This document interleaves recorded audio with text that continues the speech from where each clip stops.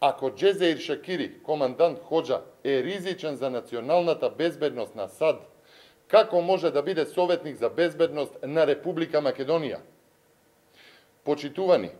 секое понатамошно и наетење на Заев значи потврда на неговата порака кон сите идни криминалци и екстремисти, со која ги повикува да се судрат со државата за потоа да добијат функции во власта –